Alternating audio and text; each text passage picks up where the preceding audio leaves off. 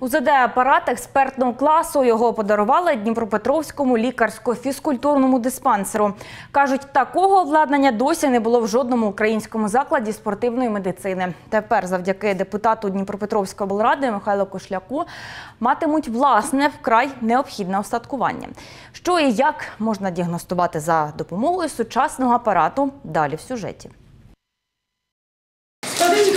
Вы нам подарили. Ну, ладно, что наработала. Это большое вам спасибо. Этот аппарат может посмотреть, сколько крови остается в левом желудочке сердца при его сокращении. Если до 50 мл, запросто допускаем к тренировкам. Если больше 50 мл, то есть мы можем в миллилитрах даже определить, сколько крови там остается. И это уже позволяет либо продлить спортивную биографию спортсмена, и он достигнет каких-то высот, либо сказать ему, извините, Ігор Горбицький – професійний спортсмен, займається дзюдо. Він перший, кого дивляться на цьому УЗД-апараті експертного класу. Радіє – здоров'я в порядку. Апарат це, я думаю, очень полезна вещь, поскольку любому спортсмену треба проходити медицинські осмотри, і це важливо для самого себя.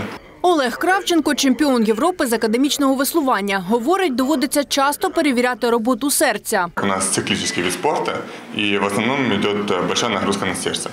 И этот аппарат нам будет помогать э, ну, смотреть, как наше сердце нагружено, нужен ли отдых, э, или наоборот, можно добавить еще тренировок. На цьому ультразвуковому апараті зможуть перевіряти не тільки серце, а ще й суглоби та судини спортсменів, говорить директорка лікарсько-фізкультурного диспансеру Лідія Дукач. Надалі апарат планують дообладнати, аби проводити діагностику всього організму. Це дозволить вчасно виявляти навіть найменші проблеми зі здоров'ям. Тренировались, как всегда, все хорошо, а результаты стали падать, потому что где-то есть какой-то маленький дефект. Это тормозит спортивный путь спортсмена, и жалко вложенного труда, если вовремя не вмешается врач.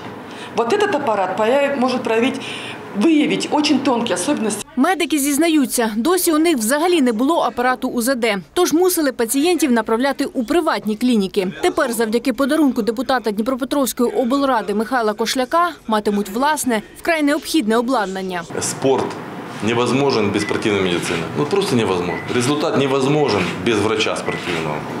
Это все иллюзия, обман, самообман, скорее всего, так. И поэтому лучше всего действиями, а не словами помогать спорту и спортивной медицине. На новому ультразвуковому апараті щорічно зможе проходити діагностику більш ніж тисяча спортсменів Дніпропетровщини. Галина Ізмайлова, Олександр Вернегоров, News, телеканал відкритий.